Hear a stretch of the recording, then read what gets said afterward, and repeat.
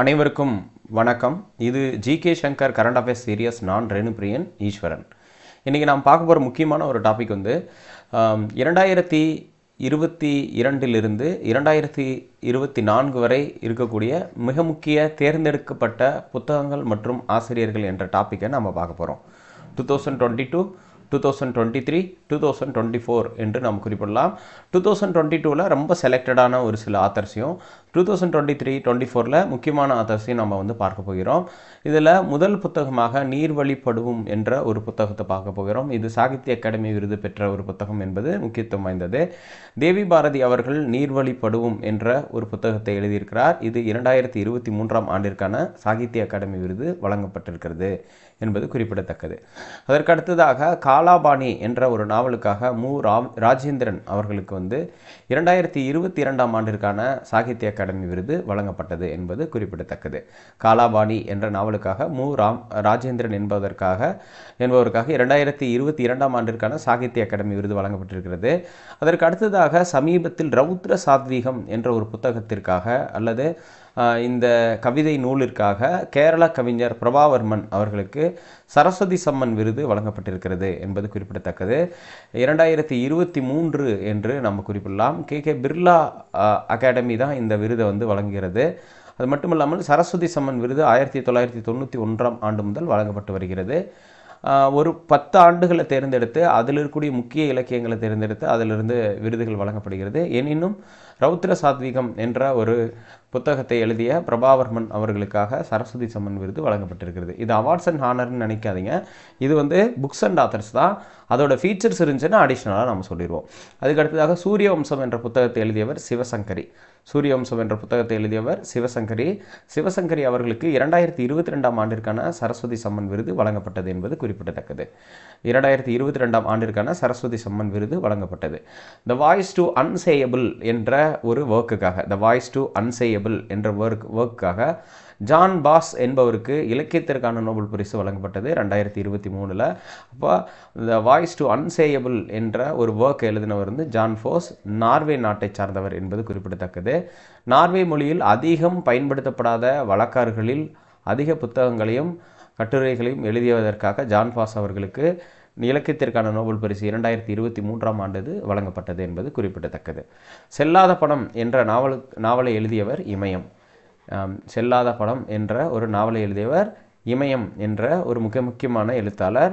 ரெண்டாயிரத்தி இருபத்தி ஒன்றாம் ஆண்டிற்கான சாகித்ய அகாடமி விருது அவருக்கு வழங்கப்பட்டது.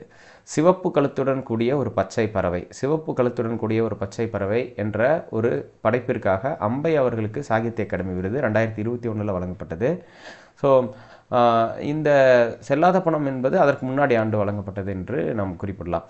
ஸோ அதற்கு அடுத்ததாக சிவப்பு கழுத்து கழுத்துடன் கூடிய ஒரு பச்சை பறவை என்பது சாகித்ய அகாடமி விருது பெற்ற ஒரு மிக முக்கியமான நூலாகும். ரெண்டாயிரத்தி இருபத்தி மூணில் இந்த புத்தகத்திற்காக டாடா இலக்கிய நேரலை நிகழ்ச்சியில் வாழ்நாள் சாதனையாளர் விருது வழங்கப்பட்டது. நீங்கள் டாடா வாழ்நாள் சாதனையாளர் விருது பெற்ற ஒரு நபர் யாருன்னு கேட்டிங்கன்னா அம்பை. அவர் வந்து சிவப்பு கழுத்துடன் கூடிய ஒரு பச்சை பறவை என்ற புத்தகத்தை எழுதியிருக்கார். திருக்கார்த்தியல் என்ற சிறுகதை தொகுப்பை எழுதியவர். திருக்கார்த்தியல் என்ற சிறுகதை தொகுப்பை எழுதியவர் ராம் தங்கம். ராம் தங்கம் இவர் சாகித்ய அகாடமியுடைய யுவ புரஸ்கார் விருதை பெற்றிருக்கிறார் இந்த புத்தகத்திற்காக இரண்டாயிரத்தி இருபத்தி மூன்றாம் ஆண்டிற்கான இந்த புத்தகத்திற்காக. நெக்ஸ்ட் ஆதனின் பொம்மை ஆதனின் பொம்மை என்ற படைப்பிற்காக உதயசங்கர் அவர்களுக்கு சாகித்ய அகாடமியோட பால புரஸ்கார் விருது வழங்கப்பட்டிருக்கிறது ரெண்டாயிரத்தி இருபத்தி மூன்று. இந்த புத்தகம் பார்த்தீங்கன்னா கீழடி அகழ்வாராய்ச்சியை கருப்பொருளாக கொண்டு உருவாக்கப்பட்டிருக்கிறது என்பது குறிப்பிடத்தக்கது. கீழடி அகழ்வாராய்ச்சியை கொண்டு அடிப்படையாக கொண்டு உருவாக்கப்பட்டிருக்கிறது என்பது முக்கியமானது. Next the prophet song the prophet song என்ற ஒரு ஒரு புத்தகத்திற்காக பால் லிஞ்ச் என்பவருக்கு புக்கர் பரிசு இரண்டாயிரத்தி இருபத்தி மூன்றாம் ஆண்டிற்கான புக்கர் பரிசு வழங்கப்பட்டிருக்கிறது. ப்ரொஃபட் சாங் என்ற புத்தகத்தை எழுதியவர் பால் லிஞ்ச் தீர்க்கதரிசியின் பாடல் அப்படின்னு நீங்கள் மொழிபெயர்க்கலாம். தீர்க்கதரிசியின் தீர்க்க தரிசியின் பாடல் பாடல் என்று த ப்ரொஃபெட் சாங் என்பதை மொழிபெயர்க்கலாம். அயர்லாந்து நாட்டைச் சார்ந்த பால் லிஞ்ச் என்பவருக்கு இந்த ரெண்டாயிரத்தி இருபத்தி மூணு புக்கர் புக்கர் பரிசு வழங்கப்பட்டிருக்கிறது. நெக்ஸ்ட் டைம் ஷெல்டர் என்ற படைப்பிற்காக டைம் ஷெல்டர் என்ற படைப்பிற்காக கார்கி காஸ்பாடினோவ் என்பவருக்கு ரெண்டாயிரத்தி இருபத்தி மூணின் சர்வதேச புக்க புக்கர் பரிசு வழங்கப்பட்டிருக்கிறது. இன்டர்நேஷனல் புக்கர் பிரைஸ் என்று குறிப்பிடுவார்கள். இன்டர்நேஷ்னல் புக்கர் பிரைஸ் வந்து கார்கி காஸ்பாடினோவ் என்பவருக்கு டை என்- டைம் டைம் ஷெல்டர் என்ற ஒரு படைப்பிற்காக வழங்கப்பட்டிருக்கிறது என்பது குறிப்பிடத்தக்கது. கார்கி காஸ்பாடினோ பல்கேரிய நாட்டை சார்ந்தவர் என்பது முக்கியத்துவம் வாய்ந்தது. நெக்ஸ்ட் ரெட் சமாதி என்ற புத்தகத்திற்காக கீதாஞ்சலி ஸ்ரீ அவர்களுக்கு சர்வதேச புக்கர் பரிசு வழங்கப்பட்டது இரண்டாயிரத்தி இருபத்தி இரண்டாம் ஆண்டு. இரண்டாயிரத்தி இருபத்தி இரண்டாம் ஆண்டு சர்வதேச புக்கர் பரிசு கீதாஞ்சலி ஸ்ரீ என்பவருக்கு வந்து வழங்கப்பட்டது என்பது குறிப்பிடத்தக்கது. இதோடைய மொழிபெயர்ப்பு வந்து டாம்ப் ஆஃப் சாண்ட் என்ற பெயரில் டெய்சி ராக்வெல் இருந்த இதை மொழிபெயர்த்தாங்க. இதன் மூலம் தான் இந்த பரிசு வந்து கிடைந்தது அப்படிங்கிறதையும் நாம் பார்க்க முடிகிறது. அப்போது இந்த சர்வதேச புக்கர் பரிசை விளைய வென்ற முதல் இந்திய நாவலாசிரியராக இவங்க வந்து அறியப்படுகிறார் அப்படிங்கிறத நாம் பார்க்க முடியுது. கீதாஞ்சலி ஸ்ரீ என்பது முக்கியத்துவம் வாய்ந்தது. நெக்ஸ்ட்டு பூக்குழி. பூக்குழி என்ற ஒரு நா நாவல். அது வந்து அதோடைய டிரான்ஸ்லேஷன் வந்து பயர். பூக்குழி என்ற நாவலை எழுதியவர் வந்து பெருமாள் முருகன் என்பவர் என்பது முக்கியத்துவம் வாய்ந்தது. தமிழின் மிக முக்கியமான படைப்பாளராக பெருமாள் முருகன் உள்ளார். இதோடைய டிரான்ஸ்லேஷன் பார்த்தீங்கன்னா அனிருத் வாசுதேவன் அவர்கள் செய்திருக்கிறார். பூக்குழி என்ற புத்தகத்தை பயர் என்ற பெயரில் ஆங்கிலத்திற்கு மொழிபெயர்த்தவர் அனிருத் வாசுதேவன். இந்தியா சார்பில் சர்வதேச புக்கர் பரிசுக்கு பரிசீலனை பட்டியல் இந்த இந்த புத்தகம் இடம்பெற்றது என்பது குறிப்பிடத்தக்கதாக இருக்கிறது. அதற்கடுத்தது பாகல்கானா. பாகல்கானா என்ற புத்தகத்தை எழுதியவர் இது வந்து ஒரு இந்தி மொழி புத்தகம். டாக்டர் கியான் சதுர்வேதி. டாக்டர் கியான் சதுர்வேதி இந்த புத்தகத்தில் எழுதியிருந்தார். இதற்காக வியாசம்மன் விருது கிடைத்தது. ரெண்டாயிரத்தி இருபத்தி ரெண்டோடைய வியாசம்மன் விருது கிடைத்தது. இந்த வியாசம்மன் விருதுங்கிறது இந்தி மொழியில் எழுதப்பட்ட இலக்கியங்களுக்கு வழங்கப்படக்கூடிய ஒரு பரிசு என்பது குறிப்பிடத்தக்கது. நெக்ஸ்ட் த பிளாக் ஹில் என்ற ஒரு புத்தகத்தை எழுதியவர் மேமங் தாய் என்ற ஒருத்தர். மேமங் தாய் என்ற ஒரு எழுத்தாளர் எழுதியிருந்தார். இதை தமிழில் மொழிபெயர்த்திருக்கிறார்கள். கருங்குன்றம் என்ற பெயரில் கண்ணையன் தட்சிணாமூர்த்தி அவர்கள் மொழிபெயர்த்திருக்கிறார்கள். கண்ணையன் தட்சிணாமூர்த்தி அவர்களுடைய மொழிபெயர்ப்பிற்காக இரண்டாயிரத்தி இருபத்தி மூன்றின் சிறந்த மொழிபெயர்ப்பிற்கான சாகித்ய அகாடமி விருது வழங்கப்பட்டது. இரண்டாயிரத்தி இருபத்தி மூன்றின் சிறந்த மொழிபெயர்ப்பிற்கான சாகித்ய அகாடமி விருதை பெற்றவர் கண்ணையன் தட்சிணாமூர்த்தி. அவர் ம மொழிமாற்று செய்த டிரான்ஸ்லேட் பண்ண புத்தகத்தோட பேர் கருங்குற்றம் அதோடைய ஒரிஜினல் நேம் வந்து த பிளாக் ஹில் என்று குறிப்பிட்டிருப்பாங்க. நெக்ஸ்ட் பூனாட்சி அல்லது ஒரு வெள்ளாட்டின் கதை என்ற புத்தகம் பெருமாள் முருகன் அவர்களால் எழுதப்பட்டது. இந்த இந்த புத்தகத்தை ஆங்கிலத்தில் Poonachi or story of black goat என்ற பெயரில் கல்யாணராமன் அவர்கள் மொழிபெயர்த்திருக்கிறார்கள். கல்யாணராமன் அவர்களுடைய இந்த மொழிபெயர்ப்பிற்காக சாகித்ய அகாடமியின் சிறந்த மொழிபெயர்ப்பு விருது இரண்டாயிரத்தி இருபத்தி ரெண்டாம் ஆண்டுக்கு வழங்கப்பட்டது என்பது குறிப்பிடத்தக்கது.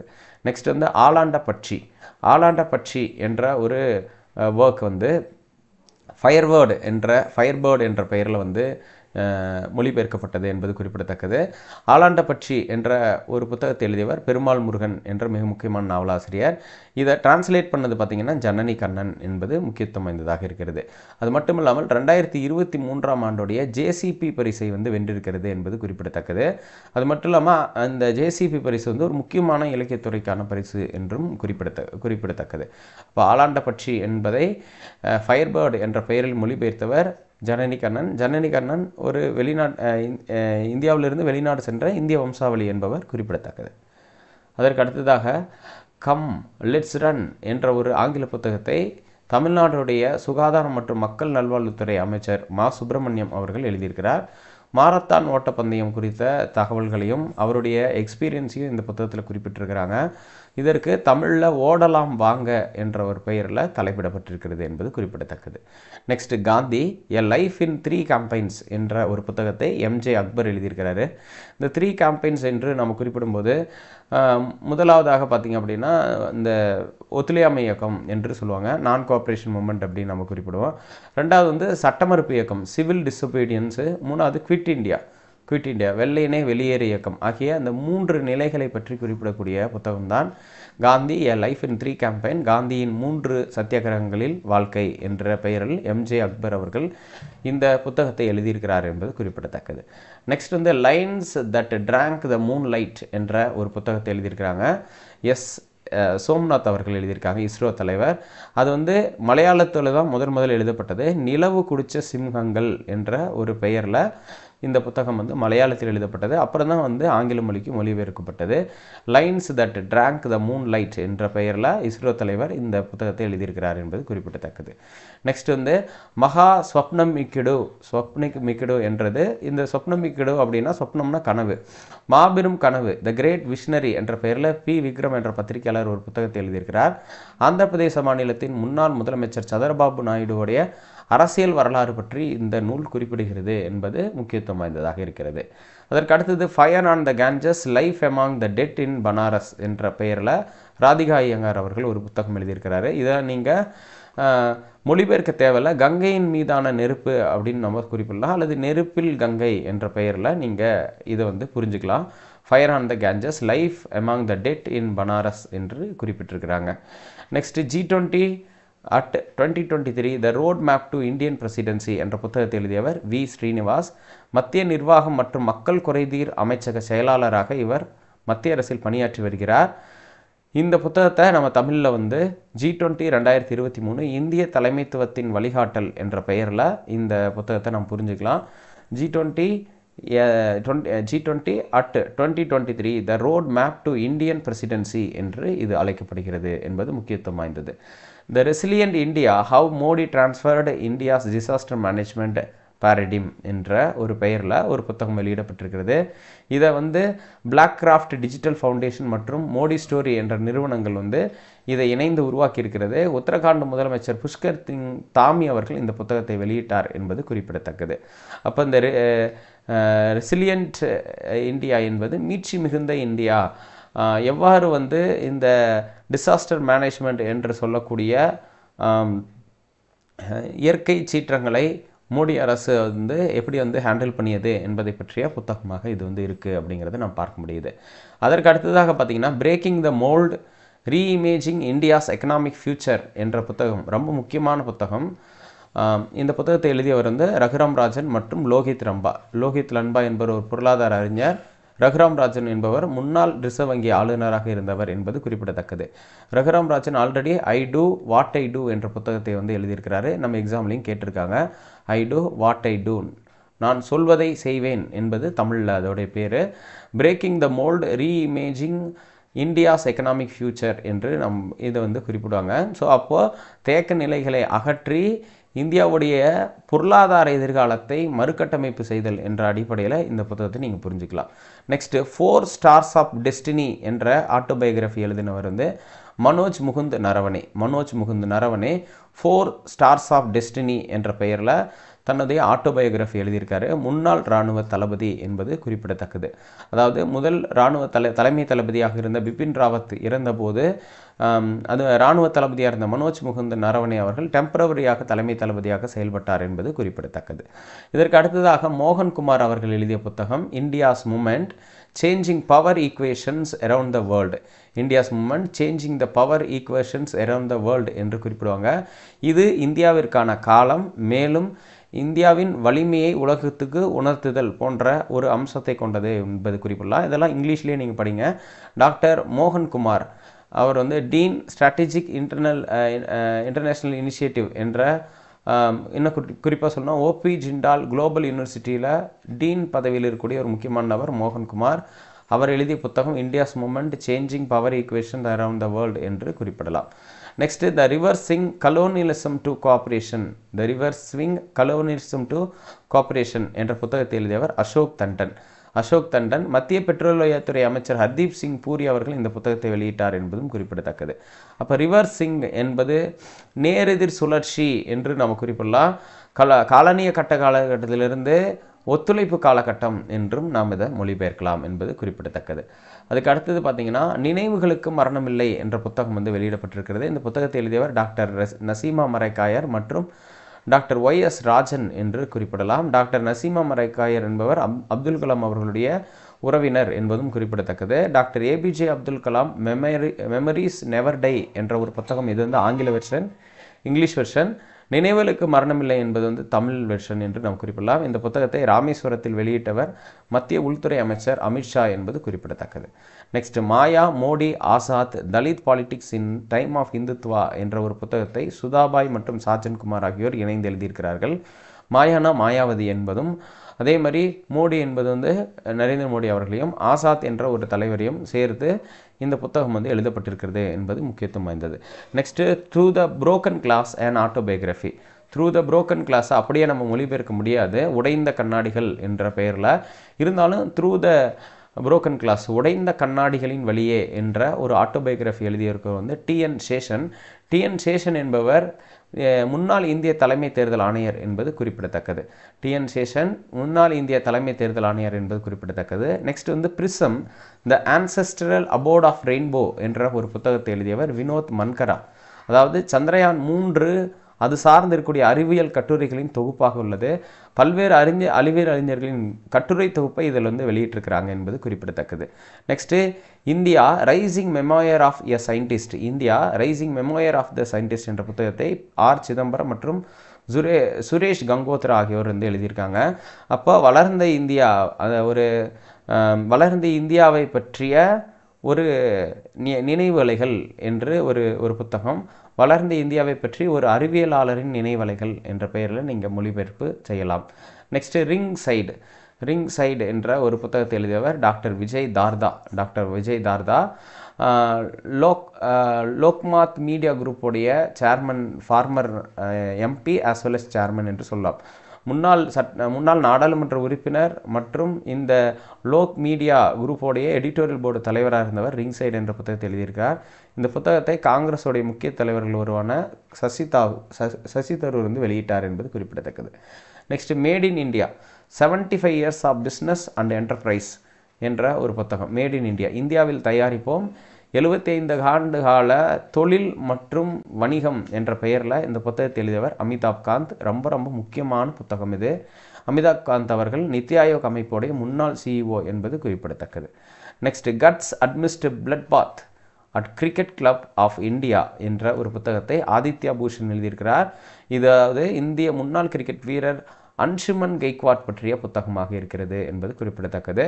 ஸோ இது வந்து guts amidst bloodbath at cricket club of India என்ற பெயரில் அமைந்திருக்கிறது இந்த புத்தகம். Next the golden years the many joys of living a long life என்ற ஒரு பெயரில் கோல்டன் இயர்ஸ் என்று பொற்காலம் என்று குறிப்பிட்டிருக்காங்க.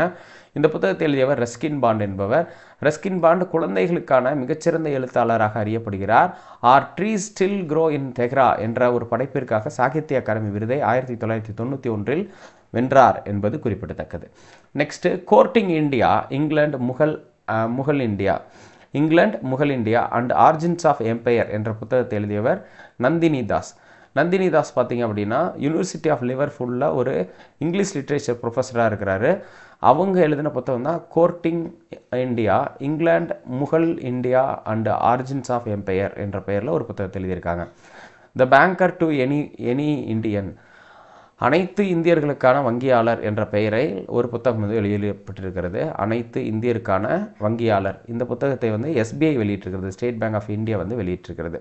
நெக்ஸ்ட்டு கிராஸ்கோர்ட் என்ற பெயரில் வந்து ஜெய்தீப் முகர்ஜியா என்ற ஒருத்தர் ஒரு புத்தகத்தை எழுதியிருக்கிறார். இது வந்து autobiography of a tennis player ஒரு டென்னிஸ் பிளேயர் புல புகழ்பெற்ற டென்னிஸ் வீரருடைய ஒரு சுயசரிதை என்று குறிப்பிடத்தக்கது. ஸோ புகழ்பெற்ற டென்னிஸ் வீரருடைய சுயசரிதை என்று குறிப்பிடத்தக்கது. நெக்ஸ்ட் நாற்பத்தி ஒன்பது smoke and ashes a writer's journey through opium's hidden histories opium's hidden history opium என்ற போதைப் பொருளின் வரலாற்றை பற்றி குறிப்பிடக்கூடியது அமிதவ் கோஷ் என்பவர் இந்த புத்தகத்தை எழுதியிருக்கிறார். The book is a combination of memoir travelogue and deep dive into the economic cultural history of opium என்று நாம் குறிப்பிடலாம். இது நாற்பத்தி ஒன்றில் உருவாக்கி இருக்கிறது அதுக்கடுத்து நாற்பத்தி ரெண்டு சௌராஷ்டிரா தமிழ் சங்கமம் பிரகஸ்தி என்ற பெயரில் சங்கம் பிர பிரகஸ்தி என்ற பெயரில் ஒரு புத்தகம் வெளியிடப்பட்டிருக்கிறது. இதை வந்து வெளியிட்டு வந்து சோம்நாத் சமஸ்கிருத பல்கலைக்கழகம் வெளியிடப்பட்டிருக்கிறது இந்த புத்தகத்தை வந்து இந்திய பிரதமர் நரேந்திர மோடி அவர்கள் வெளியிட்டு உரையாற்றினார் என்பது குறிப்பிடத்தக்கது. நெக்ஸ்ட் ரிஃப்ளெக்ஷன்ஸ் பிரதிபலிப்பு என்ற பெயரில் ஒரு புத்தகம் வந்து எழுதியிருக்காங்க. நாராயண் வாகுல் என்பவர் இந்த புத்தகத்தை எழுதியிருக்காரு. இந்த புத்தகத்தை மத்திய அமைச்சர் நிர்மலா சீதாராமன் அவர்கள் வெளியிட்டார் என்பது குறிப்பிடத்தக்கது. Next India's vaccine growth story India's vaccine growth story from cowpox to vaccine Maitri என்ற ஒரு பெயரில் ஒரு புத்தகம் எழுதப்பட்டிருக்கிறது. அப்போது தடுப்பு இந்திய தடுப்பூசி திட்டத்தின் பெயர் என்ற அடிப்படையில் இது வந்து செயல்படுகிறது. அதேமாதிரி Sajan Singh Yadav additional secretary of government of India என்ற ஒரு நபர் தான் எழுதியிருக்காரு சாஜன் சிங் யாதவ். மத்திய சுகாதாரத்துறை அமைச்சர் மான்சுக் மாண்டியா தான் இந்த புத்தகத்தை வந்து வெளியிட்டு வைத்தார் என்பது குறிப்பிடத்தக்கதாக இருக்கிறது. Next Mundaka Upanishad the gateway to eternity என்ற பெயரில் ஒரு இது இருக்குது டாக்டர் கரண் சிங் டாக்டர் கரண் சிங் என்ற ஒருத்தர் இருக்காரு. Mundaka Upanishad the gateway to இட்டர்னிட்டின்னு சொல்லுவாங்க. துணை குடியரசுத் தலைவர் ஜெகதீப் தன்கர் இந்த புத்தகத்தை வெளியிட்டார் என்பதும் முக்கியத்துவம் வாய்ந்ததாக இருக்கிறது. அதற்கு அடுத்ததாக பார்க்கக்கூடியது முண்டக உபநிடதம் மோச்சத்தின் நுழைவாயில் என்று அழைக்கப்படுகிறது. Next as good as my world as good as my world என்ற பெயரில் கே எம் சந்திரசேகர் ஒரு புத்தகத்தை எழுதியிருக்கிறார். கே எம் சந்திரசேகர் முன்னாள் கேபினெட் செயலாளர் என்று இவரை நம்ம குறிப்பிடலாம். சரிங்களா? முன்னாள் கேபினெட் செயலாளர் கே எம் சந்திரசேகர் அவர்கள் a as good as my word என்ற பெயரில் ஒரு புத்தகத்தை எழுதியிருக்கிறார். Next India struggle for independence காந்திய நிரா இந்திய சுதந்திர போராட்டம் காந்திய காலகட்டம் என்ற பெயரில் பி ஜோதிமணி அவர்கள் ஒரு புத்தகத்தை எழுதியிருக்கிறார். இவர் சென்னை உயர்நீதிமன்றத்தின் முன்னாள் நீதிபதி. அதே மாதிரி ஜி பாலன் அவரும் இந்த புத்தகத்தில் பங்களிப்பு செய்திருக்கிறார். ஜி பாலன் பி ஜோதிமணி மற்றும் ஜி பாலன் ஆகியோர் வந்து இந்த புத்தகத்தில் கான்ட்ரிபியூட் பண்ணியிருக்காங்க. ஜி பாலன் வரலாற்றுத்துறை பேராசிரியர் என்பது குறிப்பிடத்தக்கது. Next Bipin the man behind the uniform Bipin the man behind the uniform என்று குறிப்பிடலாம். அப்போ சீருடைக்கு பின்னால் இருந்த மனிதர் என்று நம்ம மொழிபெயர்க்கலாம். இதை எழுதினவர் வந்து ரச்சனா பிஸ்வத் ரஜா ராவத் என்ற ஒரு ஜேர்னலிஸ்ட் வந்து எழுதியிருக்காரு. முன்னாள் தலைமை தலைமை தளபதி பிபின் ராவத் குறித்த புத்தகம் என்பது குறிப்பிடுகிறது. ரச்சன பிஸ்வத் ராவத் என்பவர் எழுதின புத்தகம் தான் Bipin the man behind the uniform என்று நம்ம குறிப்பிடலாம். Next snakes in the Ganga breaking India two point O என்ற பெயரில் ஒரு புத்தகம் எழுதப்பட்டிருக்கிறது. கங்கையில் உள்ள பாம்புகள் என்ற நம்ம குறிப்பிடலாம். அது அதை எழுதினவர் வந்து பார்த்திங்கன்னா ராஜீவ் மல்ஹோத்ரா மற்றும் விஜயா விஸ்வநாதன் ஆகிய இரண்டு பேர் வந்து இணைந்து வெளியில் வெளியிட்டிருக்காங்க என்பதை பார்க்க முடிகிறது. சத்ரபதி சிவாஜி மகாராஜ் என்ற ஒரு புத்தகம் வந்து இருக்கிறது. தமிழ்லையும் சத்ரபதி சிவாஜி மகாராஜ் தான். இதை வந்து ஸ்ரீமத் கோக்டே கோகடே என்பவர் என்ற மராத்தி எழுத்தாளர் எழுதியிருக்கிறார் என்பது குறிப்பிடத்தக்கது. Next Azad and autobiography Azad ஒரு சுயசரிதை. குலாம் நபி ஆசாத் அவர்கள் எழுதியிருக்காரு. குலாம் நபி ஆசாத் வந்து முன்னாள் மத்திய அமைச்சர் முன்னாள் ஜம்மு காஷ்மீர் முதலமைச்சர் என்பது குறிப்பிடத்தக்கது. காங்கிரஸ் கட்சியிலிருந்து விலகி ஒரு புதிய கட்சியை வந்து இவர் தோற்றுவித்திருக்கிறார் என்பதும் குறிப்பிடத்தக்கது. ஒரே நாடு ஒரே தேர்தல் என்ற ராம்நாத் கோவிந்த் தலைமையிலான ஆணையத்தில் ஒரு உறுப்பினராக குலாம் நபி ஆசாத் இருக்கிறார் என்பது குறிப்பிடத்தக்கது. நெக்ஸ்ட் வார் அண்ட் விமன் என்ற ஒரு புத்தகம் வந்து எழுதப்பட்டிருக்கிறது. போர்களும் பெண்களும் என்ற பெயரில் இந்த புத்தகம் டாக்டர் எம் ஏ ஹசன் வந்து எழுதியிருக்காரு வங்காள பெண்கள் மீதான பாகிஸ்தான் இராணுவத்தின் அத்துமீறலை குறிப்பிடுவது இந்த புத்தகம். இந்த புத்தகம் ஐம்பத்தி இரண்டாவது ஐநா மனித உரிமை மாநாட்டில் ஜெனீவாவில் வெளியிடப்பட்டது என்பது குறிப்பிடத்தக்கது. ஐம்பத்தி இரண்டாவது மனித உரிமை மாநாட்டில் இதை வந்து வெளியிட்டாங்க. நெக்ஸ்ட் ஒய்காண்ட் எல் எலஃபன்ஸ் பி ரெட் என்ற ஒரு புத்தகத்தை வாணி திருபாதி திக்கு அவர்கள் எழுதியிருக்காரு. ஒரு நடிகர் மற்றும் மத்திய தணிக்கை குழு உறுப்பினராக இருக்காங்க. இதை நம்ம மொழிபெயர்த்தோம்னா யானைகள் ஏன் சிவப்பு நிறத்தில் இல்லை என்ற ஒரு பெயரில் நம்ம மொழிபெயர்க்கலாம் சரிங்களா? ஸோ இப்போ யானைகள் ஏன் சிவப்பு நிறத்தில் இல்லை என்ற ஒரு பெயரில் நம்ம மொழிபெயர்க்கலாம். Next victory city and epic tale என்ற ஒரு புத்தகத்தை எழுதியவர் சல்மான் ருஷ்டி. மிகவும் சர்ச்சைக்குரிய எழுத்தாளராக அறியப்படக்கூடிய சல்மான் ருஷ்டி அவர்கள் இந்திய வம்சாவளியை சார்ந்த பிரிட்டிஷ் அமெரிக்க நாவலாசிரியர். இவர் ஒரு ஓராறு ஓரிரு ஆண்டுகளுக்கு பிறகு தாக்குதல் தாக்குதலுக்கு உள்ளானார் அதில் அவர் ஒரு கண்ணுடைய பார்வை இழந்தார் என்பதும் குறிப்பிடத்தக்கது. நெக்ஸ்ட் மிட்நைட் சில்ட்ரன் என்ற புத்தகத்தை எழுதியவரும் சல்மான் ருஷ்டி. இந்த மிட்நைட் சில்ட்ரன் புத்தகத்திற்காக அவருக்கு ஆயிரத்தி தொள்ளாயிரத்தி எண்பத்தி ஒன்று புக்கர் பரிசு வழங்கப்பட்டது என்பதும் குறிப்பிடத்தக்கது. Next breaking barriers the story of Dalit chief secretary தடைகளை உடை தடைகளை உடை அது மட்டும் இல்லாமல் ஒரு தலித் முதன்மை செயலாளருடைய தலைமைச் செயலாளருடைய கதை என்ற பெயரில் வந்து கார்கி மாதவராவ் வந்து எழுதியிருக்கார் என்பது குறிப்பிடத்தக்கது. Next the world a family history of humanity என்ற பெயரில் சைமன் சேபக் மாண்டிஃபர் மான்டிஃபர் என்பவர் வந்து ஒரு புத்தகத்தை எழுதியிருப்பார். இவர் வந்து பிரிட்டிஷ் வரலாற்று ஆசிரியர். இந்த புத்தகம் இந்தியாவுடைய வரலாற்று ஆசிரியர் எஸ். மனு பிள்ளை அவர்களுடைய நடந்த ஒரு உரையா உரையாடலை அடிப்படையாக கொண்டது என்பது குறிப்பிடத்தக்கது. ஸோ அப்போ இந்திய வரலாற்று ஆசிரியர் மனு பிள்ளை தொடர் தொடர்புடைய தொடர்புடைய ஒரு உரையாடல் என்று நாம் குறிப்பிடலாம். அதுக்கு அடுத்தது உலகம் மனிதநேய குடும்பத்தின் வரலாறு அப்படின்னு நம்ம குறிப்பிடலாம். Next Ambedkar a life.